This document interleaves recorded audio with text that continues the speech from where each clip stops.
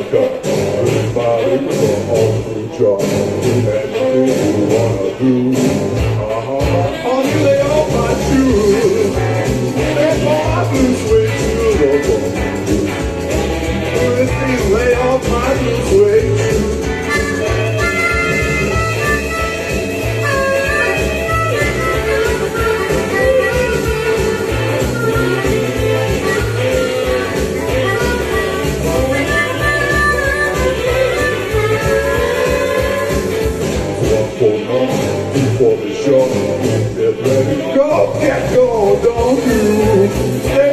You